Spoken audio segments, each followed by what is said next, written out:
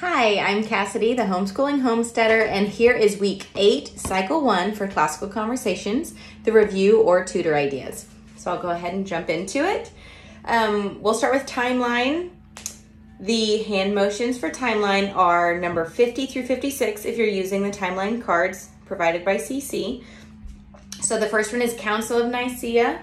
You're going to start with three fingers behind your hand, closest to your body, and then you move it forward into one because this council was um, them actually discussing the Trinity of Christ. So you have three and one right here.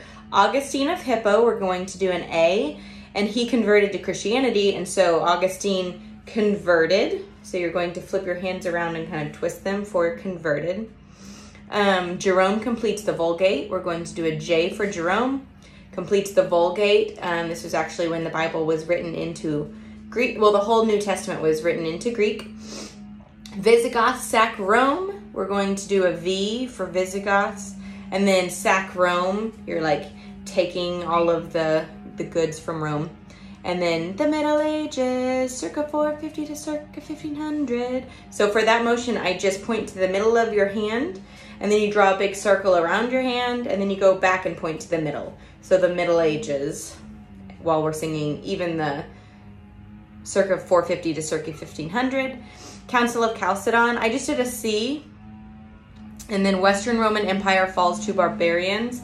Western Roman Empire, I think I did R. Western Roman Empire falls to barbarians. This is the sign for barbarian, like you're showing your muscles. Okay, so we've got Council of Nicaea, Augustine of Hippo, Jerome completes the Vulgate, Visigoths sack Rome, the Middle Ages, circa 450 to circa 1500, Council of Chalcedon, Western Roman Empire falls to barbarians. Okay, that's timeline. So moving into math, we did 14s this week. The tune is to Camptown Races, but in class, we actually used the dice and rolled the dice again. Um, the dice I got from the Target Dollar section. They have little movements on it, like stand like a flamingo, hop like a frog. And uh, we hadn't done the dice in a few weeks, and so the kids were excited. And a lot of my other plans that I had for my subjects um, in week eight were not movement oriented, and so I knew I needed to incorporate some movement to get some wiggles out with my class. And so we did the dice for that. Um, each kid took a turn rolling, and then we all um, sang the song together 14, 28, 42, 56, 70, 84, 98, 112, 126, 140, 154, 168, 182, 196, 210. Okay? So for history, um, this week is Tell Me About the Age of Imperialism. And so um, I have some motions to this song. During the age of imperialism, the British, make a B, the British established rule over India. Um, and Queen Victoria, so you're like crowning yourself, Queen Victoria was declared Empress. I like curtsied, and everyone curtsied. Empress of India in 1877 before his assassination in 1948, Moham, Mohandas, we make an M, Mohandas Gandhi led the passive resistance. So you slowly push your hands away. Movement, so then you kind of wiggle. Passive resistance movement, which helped when India's independence. So I have an I for Indian and I for independence, and I have them go in opposite directions, okay? Because India gained their independence. So I'm gonna try to sing this without the song playing, so here we go. During the age of imperialism, the British established rule over India in 1858, and Queen Victoria was declared Empress of India in 1877. Before his assassination in 1948, Mohandas Gandhi led the passive resistance movement which helped win India's independence. Okay, so that was history. Geography, Indus River Valley. Um, this was actually pretty easy because um, they kind of all make a circle. The Ganges River, the Himalayas, the Arabian Sea, the Bay of Bengal, the Great Indian Desert. And so I actually pulled out the, um, I have a huge thing of erasers that are all different animals and shapes and stuff. And I found little squirrels holding an acorn. And they had little goggles on, or they looked like glasses, but I thought they looked like goggles. So since it's fall, I gave everybody a little squirrel eraser and then we took our squirrels on a hike and we started with um, we were swimming in the arabian sea and then we swam around to the bay of bengal and then we were sick of swimming and we were kind of cold so we got out at the great indian desert and we hiked across the desert to warm up. But then we were too hot and so we went up into the himalayas so that we could cool off in the mountains. And then after we were done hiking in the mountains we slid down the ganges river back into the arabian sea and the Ganges River, I called it like a slip and slide because it literally just goes straight back into the Arabian Sea. And so then we just did that a few times um, because it just all worked together with that little story. So, and then science, what are some types of seed plants? Once again, I could not come up with a song because it's so short. Sometimes the things that are short like don't fit in a song. So I just explained over and over like what are some types of seed plants? Monocot, and you hold up one finger. Dicot, you hold up two fingers. And conifer, you do a cone over your head.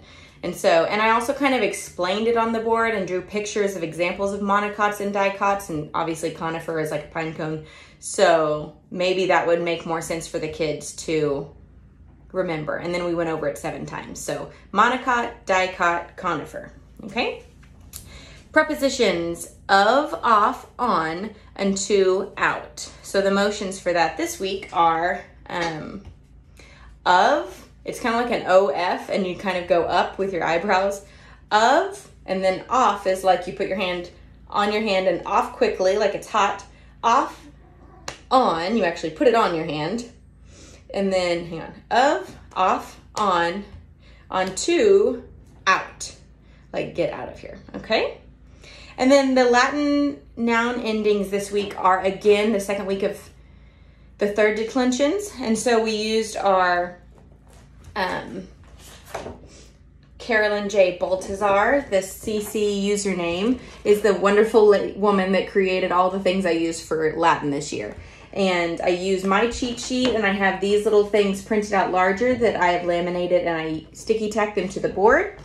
And since we'd gone over the, these last week, and it's kind of like review week for the Latin, I had the kids sit in a circle, and we have this little stuffed animal turtle. It's like this big. It's probably from a Happy Meal or something, but it's a little stuffed animal. And they each had to pass the turtle as they said the ending. And so it was like various east, E M F, various east, E M F, various east, E M F singular third declensions. And then we did plural, which is ace, um, ibis, ace, ibis, ace, um, ibis, ace, ibis, ace, um, ibis, ace, ibis, plural third declensions. And that is Latin for the week. We did another our second week of tin whistle, which went just as great as the first week. Everyone did amazing and listened well and you know kept their tin whistles in their laps until they were supposed to put them in ready position. And uh, we learned more about music dynamics this week and the mezzo forte and forte, like the soft to the loud. And I was really surprised how well my kids did with that. We sang louder and quieter as I like flipped through the little cards that I had made with like the PP and the F and the MF and the FF. So all of the signs, they were getting loud and quiet on on command with those little um, flashcards, kind of, is what I created. And um, I really think they understood the dynamics, so I was really proud of them for that. Um, and then science, we actually did our nature walk this week instead of last week because it rained last week for our campus. Um, and so I created, I had been saving up toilet paper rolls for binoculars and they got to decorate their toilet paper rolls before we went out on our nature walk so they could look for animals with their binoculars. So that's a good idea if you guys want to do that. Something tangible for the little kids to try to keep them focused and like looking for animals, um, having something in their hand. So that was fast. I think that's all for week eight. And if you have any questions, please feel free to leave them below. Have a great week and happy homeschooling.